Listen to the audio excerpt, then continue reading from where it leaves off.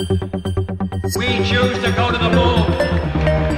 We choose to go to the moon in this decade and do the other thing. Not because they are easy, but because they are hard. Because that goal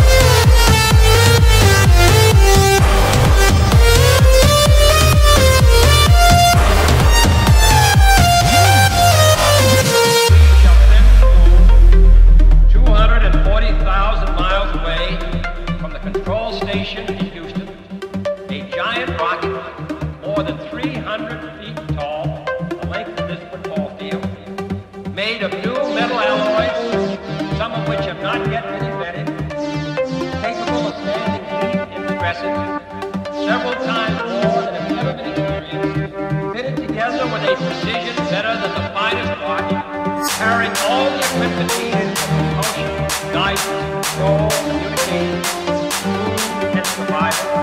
On an untried mission to an unknown celestial body, and then returning safely to Earth, over 25,000 miles per hour, heat about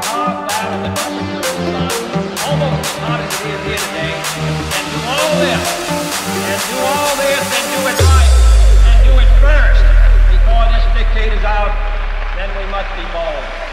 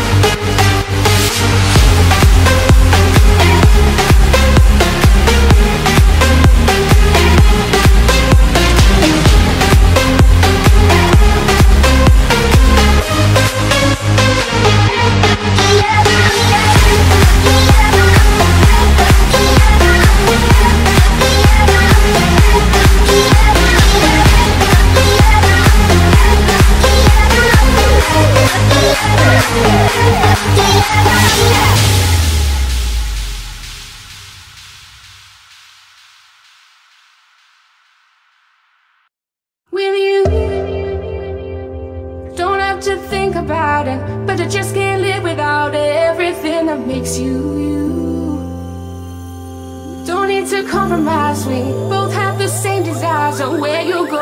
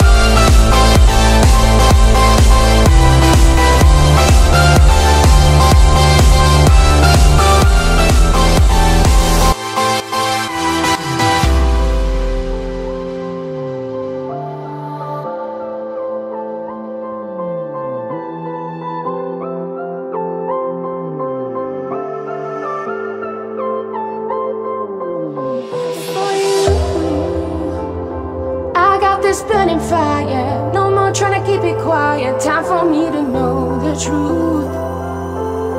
Tell me what's inside your head. I don't know if I should be scared. I'm in so deep, I just want the proof.